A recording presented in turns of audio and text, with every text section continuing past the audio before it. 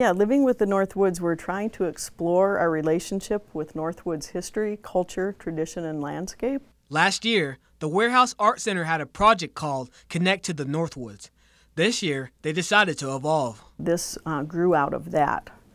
Uh, living with the Northwoods pushes on the question of with, living with versus living in. And we plan on doing this every year now.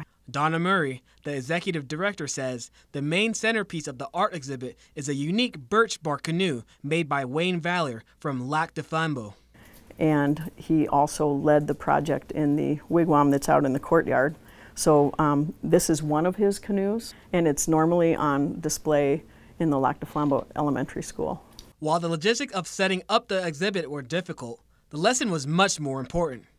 It's difficult because this is our art education classroom, and to turn it into a museum means we have to teach our classes elsewhere.